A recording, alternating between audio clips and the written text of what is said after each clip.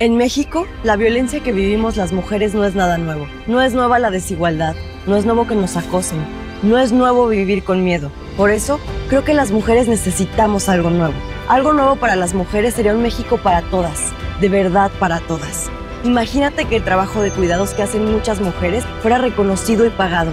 Imagínate que pudieras salir a la calle sin miedo, sin acoso, con la seguridad de que vas a regresar con bien a casa. Que todas las niñas y niños puedan crecer con paz y felicidad. Eso sí sería algo nuevo, ¿no? Por eso este año a la hora de elegir, a las mujeres nos toca pensar si queremos seguir igual o queremos algo nuevo. Movimiento Ciudadano.